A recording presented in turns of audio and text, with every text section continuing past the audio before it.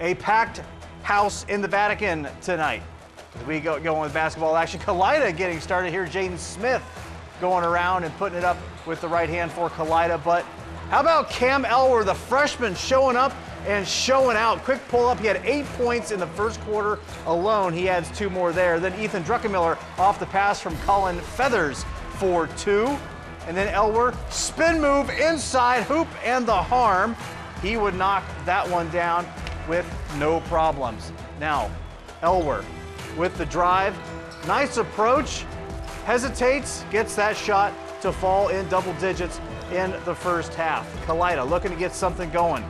Threading the needle is Drew first to Evan Stechschulte, putting that one in for two, two of their four points in the second quarter. Then Landon Grothaus with the kick to Jack Gerker, the senior knocking down the three. St. John's taking care of business. Kalida making a run at the end, but St. John's getting it done tonight, 51 246 over Kalida.